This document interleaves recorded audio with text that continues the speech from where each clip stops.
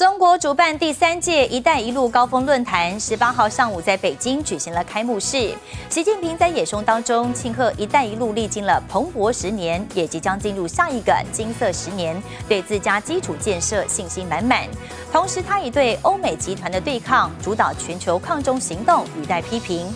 乌战之后首次访中的俄国总统普京接续习近平之后登台致辞，他也大赞“一带一路”的成就。前一天跟一百四十多国政要一同出席欢迎晚宴时，在场边接受访问，他痛骂美国不懂得相互学习，还回应拜登日前的专访内容说，俄国绝对不会遭到瓦解。